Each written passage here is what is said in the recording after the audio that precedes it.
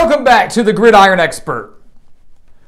Before all eyes shift to Georgia and Alabama on Monday night, your eyes should go to the other national championship on Saturday the FCS National Championship between Montana State and North Dakota State.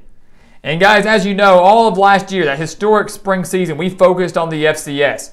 You know, a, a division and a level of college football that genuinely does not get nearly enough attention and hype that it deserves. It deserves so much more than that. And this game right here is an opportunity for all fans, whether you are a die-hard FCS fan, new to the FCS world, or you're just right there in the middle. This is an opportunity for you to take part and to enjoy one of the last college football games of the year and one that is shaping up to be an instant classic down in Frisco. We've got a familiar face in the championship this year, guys. The North Dakota State Bison have won eight of the last 10 national championships eight of the last 10 FCS national championships. If you're looking for the Alabama of the FCS, look no further than the Bison from Fargo, North Dakota. Montana State, the Bobcats guys, they have not won a championship since 1984. That was the last time they won, and that was the last time they appeared in a national championship.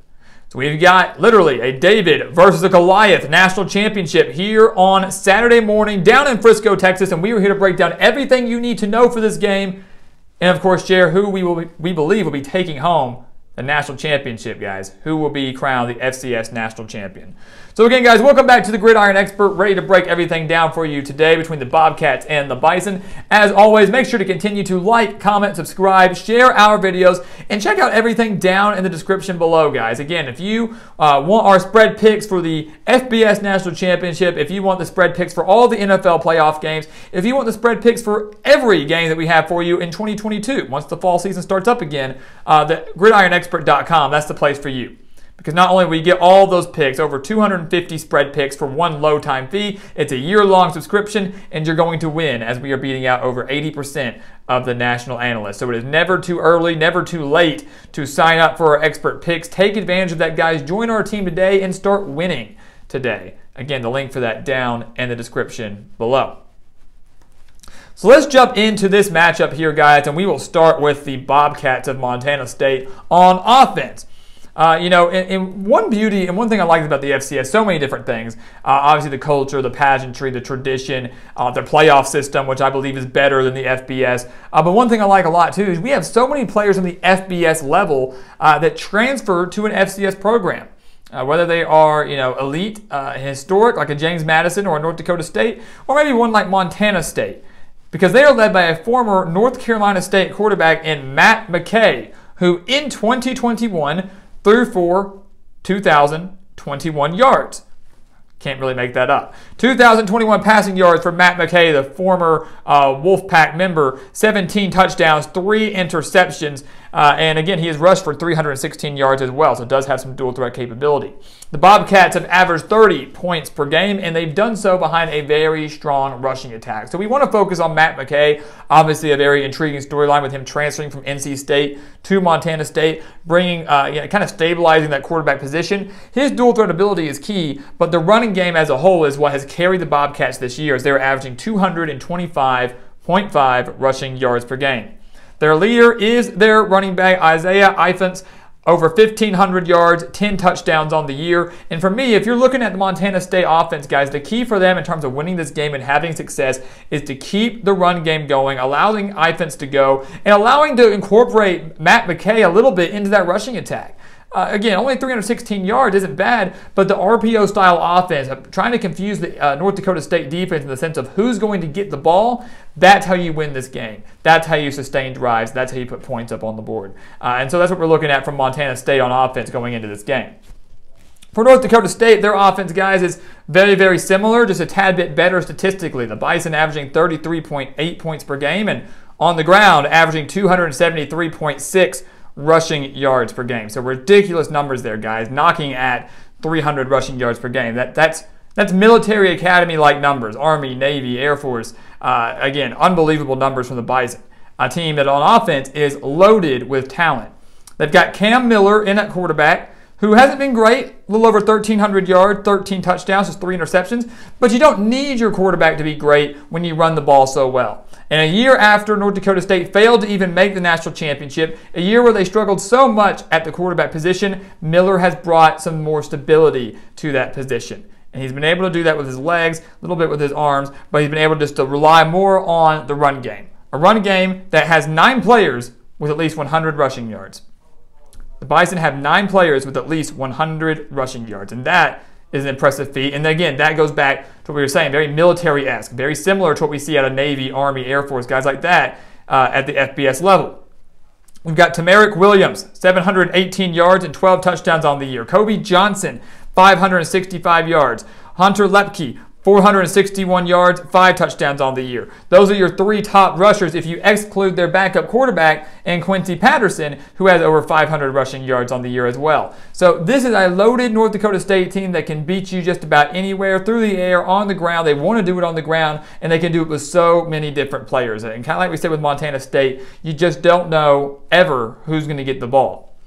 When you look at the defense, guys, both these teams are so stingy and so and so tough defensively, uh, both of them against the run. When you look at the Bobcats, guys, this is a team that's allowing just 13.4 points per game. That's it. Just 13.4 points per game, and they're allowing under 300 yards per game. You know, we always talk about that. If you're a defense allowing under 300 yards per game, you're looking pretty good. Montana State giving up just 296.6, so barely, but still good. The key number that we looked at was the fact they were only giving up 108.7 rushing yards per game. Again, compare that to North Dakota State, who's averaging nearly 275 rushing yards per game. Something's got to give, right? Which one's it going to be? Will the Bobcats be able to slow it down and force Cam Miller to try to win the game through the air? Try to see if he can get the ball out to their leading wide receiver and Christian Watson? Or will North Dakota State continue to have their way on the ground just like they have against every single opponent this year? That is the question. One other thing that the Bobcats do extremely well, though, is the fact they are forcing turnovers left and right. They have forced 19 turnovers on the year. So if they can force a couple turnovers off of the Bison and set Matt McKay in this offense up with a short field, I wholeheartedly believe the Bobcats will take advantage of that, that they will be able to convert uh, off of those turnovers. Whether it's even just a field goal, that might be enough to do the job for Montana State. Again, trying to capture their first national title since 1984. North Dakota State guys, just like they were offensively, just a tad bit better statistically than Montana State giving up 11.2 points per game, so a 2.2 differential there, not that bad. Both teams very impressive, not allowing many points on the board. Uh, but the key numbers we're looking at are the fact they're giving up less than 260 yards per game. So we were saying 300 is pretty good, but they're giving up less than 260. And the fact they're allowing is 83.2 rushing yards per game. And remember, Montana State is allowing or is averaging about 225. So you can make the argument, guys, that North Dakota State has the best defense in the FCS. You can make the argument. We, we made the argument earlier that if you were looking for an Alabama type team at the FCS level, is North Dakota State. If you're looking for uh, a comparison defensively, you know, which defense at the FBS level is like North Dakota State or vice versa, is Georgia. This is a Georgia esque defense for North Dakota State uh, going into this championship game. Again, a defense is giving up just 83.2 rushing yards per game you shut down that run game for the Bobcats, you're going to force Matt McKay to try to win the game through the air. Something that he is capable of doing. You know, if I had to pick a quarterback in this game, who has the quarterback advantage, Cam Miller or Matt McKay? I'm picking Matt McKay. More passing yards, more touchdowns, does a great job of taking care of the football. But North Dakota State has forced 20 turnovers on the year. And still, regardless of how the differential in stats, regardless of Matt McKay being better than Cam Miller, however you want to view it, neither team wants to throw the ball. They can, they will, but they would much rather play their style of ball, and that's hard nosed, control the clock, run the football, pound, pound, pound, and on defense, force a handful of turnovers, get the ball back, pound, pound, pound, control the clock. That's how they want to do it. They want to play bully ball. Both these teams do. They're not an air raid type team. Neither team really has the quarterback to do that. But when you look at this national championship, guys, in Frisco, like we just mentioned, it's a, it's a game of bully ball. And when we talk bully ball, we talk about a, a game that could be and will be won in the trenches. North Dakota State, Montana State, both of these teams have very solid defensive and offensive lines. It's a game that's going to be won up front. And we're not talking just for quarterback protection. We're talking about opening lanes for their run games. One that's nearly averaging 275 for North Dakota State, one that's averaging about 225 for Montana State. Which team wins the battle up front and which team really kind of comes through and gets to stop defensively. That's going to be the key here. Which team's going to do that? You know, because you could have one, but maybe not the other, and that might not result in a victory. But I'm going to go with North Dakota State, guys. We're going to go with the North Dakota State Bison. How can you not? How can you not? You know, everybody tried to write off North Dakota State after last year, a COVID year where they played football in the spring. They failed to make the national championship. Everybody said, it's over. They're done. They're done. They've won eight of the last 10 national championships, guys.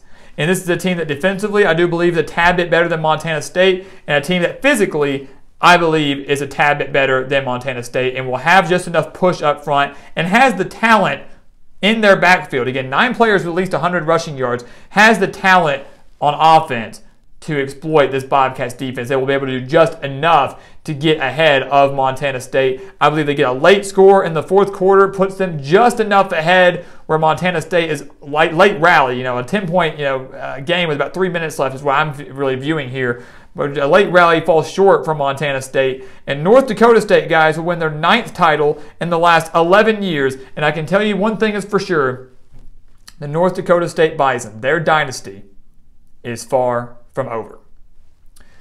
So guys, thank you so much for watching us here at the Gridiron Expert on YouTube. Make sure to continue to like, comment, subscribe, and share our videos. And of course, check out everything down in the description below. Go check out those expert picks if you have not already. It's never too early, never too late to sign up for those. It's a year-long subscription. Whenever you sign up, we guarantee you will start winning. So make sure to take advantage of that, guys. And once again, guys, as always, thank you so much for watching.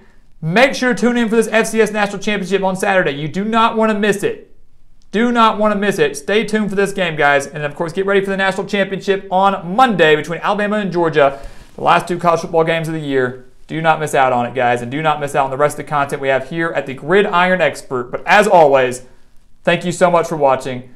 And we will see you next time right here on the Gridiron Expert.